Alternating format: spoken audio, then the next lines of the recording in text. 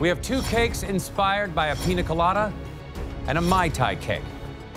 Remember, the judges will decide who gets the $100,000 based on how you did across both bakes tonight. Here we go. Please let this be a pina colada cake. Please let it have the fillings that we had. This has to be it. Like, I really hope it's Mai Tai.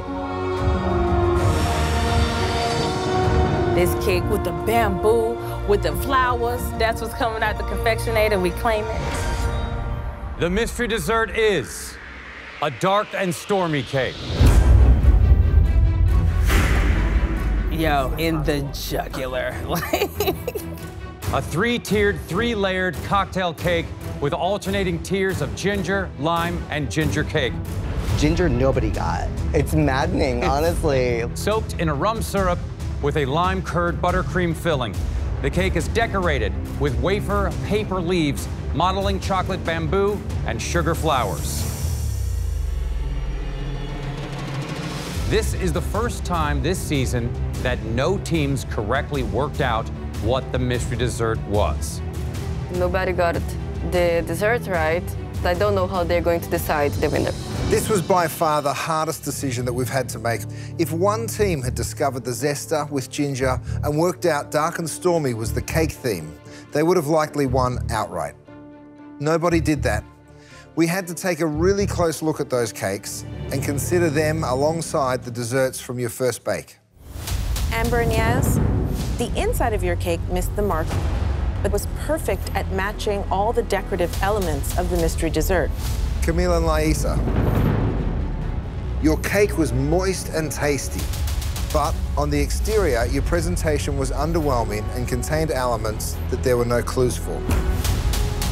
Fatty and T, your cake was a carnival of color, but there were many details throughout the cake that were not in the mystery dessert. There was one cake we felt stood out in this round overall, and that, combined with guessing well in the first bake, will see this team crowned Crime Scene Kitchen champions and take home $100,000. All right, guys, here we go. Confectionator 3000. Who are the champions of Crime Scene Kitchen Season 2?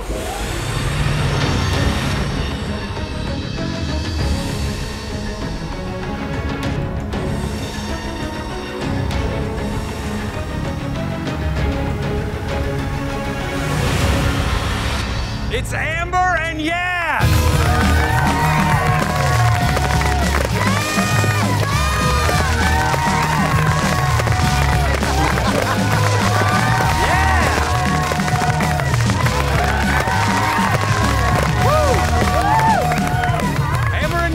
Congratulations, you are our champions. Thank you. Other than weeping, how do you guys feel? Overwhelmed. Um, when we decided to sign up to do this show, I told Amber that from this point moving forward, we're going to celebrate ourselves no matter what happens. We're going to encourage each other. We're going to cheer for each other and just be grateful for the moment and experience and live in it because Amber and I have heard a lot of no's. So many. Like we couldn't even get money for our business. Like it was that many.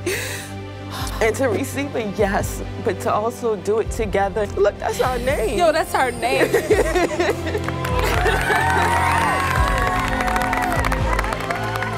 You can see the love and respect you have for each other, and you can tell that you're hardworking and passionate. You guys baked beautifully for us, all of you. We were so honored to try everything that you made, and you've impressed us no end. So just deserves congratulations. Thank you. Thank you.